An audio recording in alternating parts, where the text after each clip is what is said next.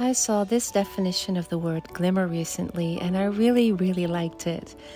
I don't think this is the official definition, but I love the fact that we acknowledge that there are small and simple moments that seem so normal and like there's nothing special to them, but really they give you so much joy and they bring you to life. They make you feel happy about where you are and grateful for what you have.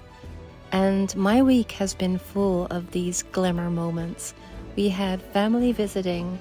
We were all cooking in my beautiful new kitchen. I was cooking for our guests in our beautiful new kitchen. We went to see our friends. It was really a whole collection of glimmer moments.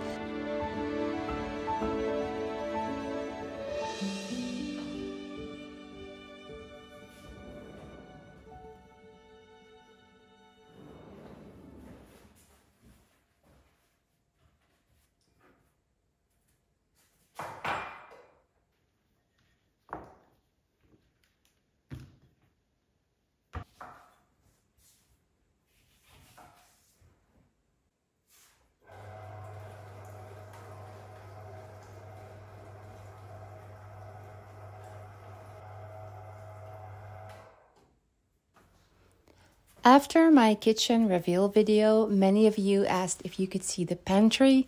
That project is still not entirely finished, but here's a little glimpse of it. People also asked where I put my fridge, and I intentionally put the fridge and the freezer in the pantry as well. This way, I have a kitchen that is just all my tools and the things that I need every day, like salt and vinegar and oil. And the pantry has all my staples all my stock of everything that you see here. And I really like having those two separate because I'm kind of chaotic, to be honest. I think I look very organized, but I organize myself really well so that I'm efficient in what I do. Um, and it doesn't really bother me to have the fridge in the pantry. It is really next to the kitchen. So I'm really, really happy with this setup. This morning, I'm making a smoothie granola bowl for my guests. Many of you have said that I never talk about my book since I launched it and that I hardly ever show it. So here you go. The recipe is in the book and I will film it for you so you can take a screenshot and try this at home. I really wanted this book to be more than just recipes. I wanted it to be just the way that you experience, hopefully, my YouTube channel. Like you're having a little visit of Burgundy, so I share images of the vineyards of our region. I talk about brocante, I talk about a lot of things, and I just wanted this to be one of those coffee table books that you take when you have maybe five minutes and a coffee just to transport yourself to another world and to enjoy all the beauty that this gorgeous region brings, even when you're not able to come here personally or travel here. And then, of course, there's lots of recipes, very simple recipes. I keep things very simple. So yeah, this is this is the book for those that haven't seen it. The link to order this, it's on Amazon almost worldwide. It's only one or two countries where you can't get it. So if you're interested, you can find that link in the description box.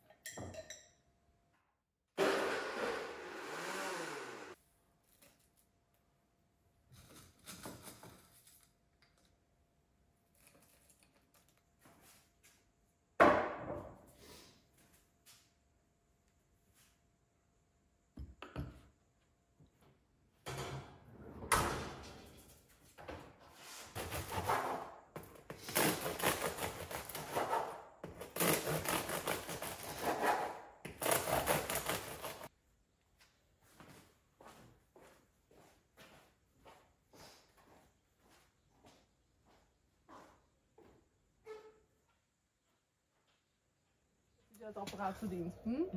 Heb ik dat verdiend? Ja, met je, met je cafetière. Van een plaatje. we went to see our friends Patty and Florus, who have recently bought a house about two hours south of where we live.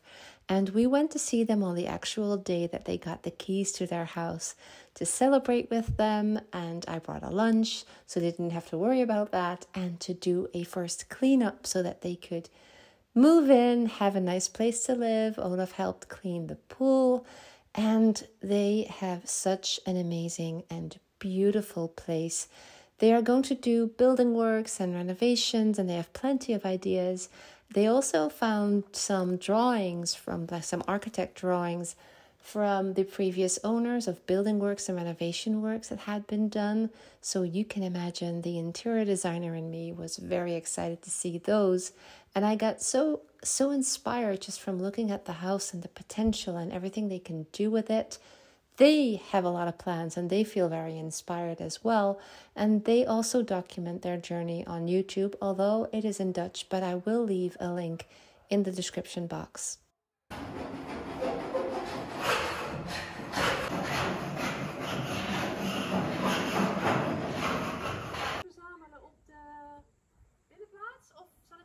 Gooien richting naar de auto straks? Dit is wel een leuk keukenhuisje. Ja, ik heb zoiets voor.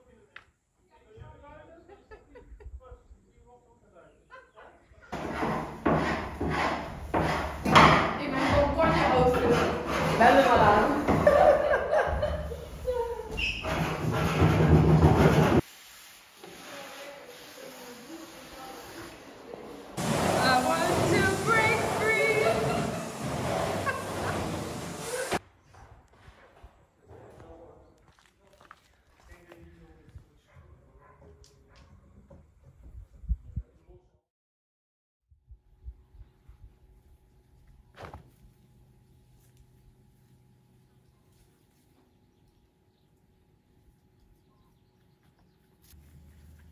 This year, I am much happier about how our garden is doing. We've had a lot more rain, so we don't have to water our plants very much. And also, we have used vinegar and salt to try to um, prevent getting too many uh, weeds in our gravel that we have everywhere. So far, I still feel I need to do a lot of weeding, but I guess that's just part of living like this. The other really good news is that the zinnias that my aunt collected from my late grandmother in the US, um, they grew and grow zinnias since, I don't know, forever. And every year they harvest the seeds and then they sow them again. And about two years ago, my aunt brought some seeds for me. And I've sown them in maybe February, March, taken really good care of them, and then planted them in the garden because I wanted to be absolutely sure which ones were grandma's. So I didn't just want to throw a couple of seeds in the ground. And they are finally blooming and they are beautiful.